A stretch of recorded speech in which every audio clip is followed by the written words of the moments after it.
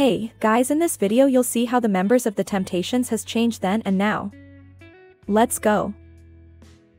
Watch until the end to see who all changed. Since I lost my baby. Since I lost my David Ruffin.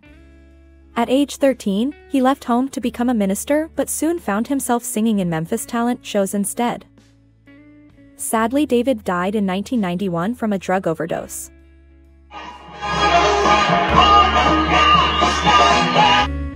Otis Williams. As an adolescent, Williams became interested in music and joined with fellow classmates to form something gong groups.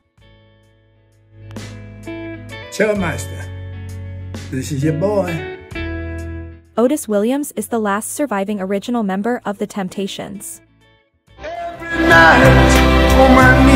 I pray. Paul Williams. He started singing in church. By his teenage years he formed a Do WAP quartet in 1955. In 1973 Paul died.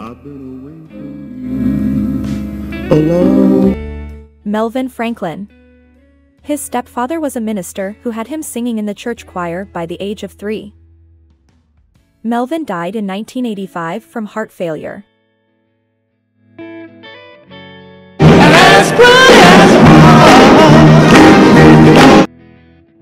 Eddie Kendricks. He was known for his distinctive falsetto singing style. He was very talented and the woman loved his voice. Eddie died in 1992 from lung cancer.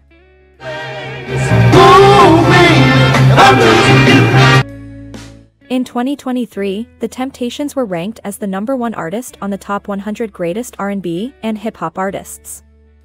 Like, share and subscribe.